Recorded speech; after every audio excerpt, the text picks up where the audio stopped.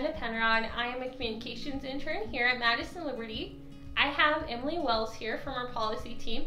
We are going to start doing legislative updates every week on Fridays where we let you know what's going on at the Capitol building so you can stay educated and informed.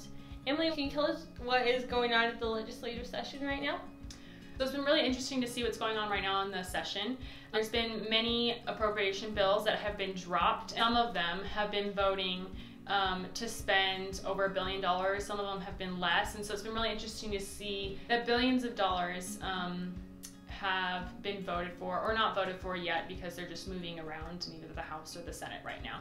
So that's been really interesting to see how much money um, our representatives are voting to or to not spend. Another, just going along with that really quickly, um, House Bill 226 that failed in the House today, and that was just another appropriation bill. And that one was for the Office of the State Board of Education. And basically, with that one, it failed, but we'll probably see something out coming or something soon coming out again for that one.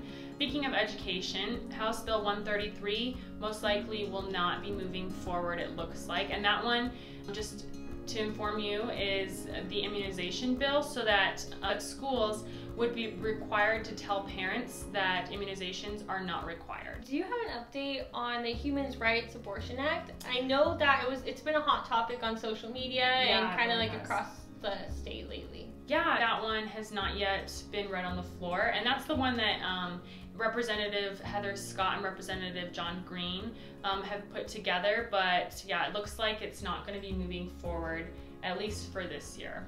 That's So. unfortunate. Yeah.